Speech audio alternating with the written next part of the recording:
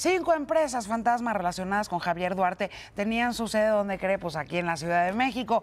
Desde ellas, presuntamente se desviaban los recursos eh, para Veracruz por alrededor de 700 millones de pesos. Algunos de estos datos son falsos. Grupo Imagen acudió a cuatro de los domicilios para buscar algún rastro de las empresas.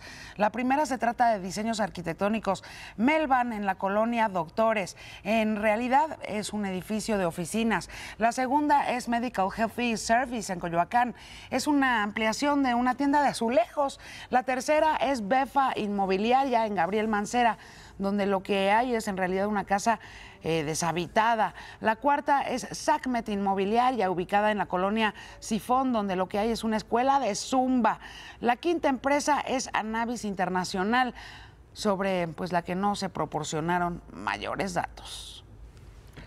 Imagen Noticias con Yuridia Sierra, lunes a viernes 2 pm. Participa en Imagen Televisión.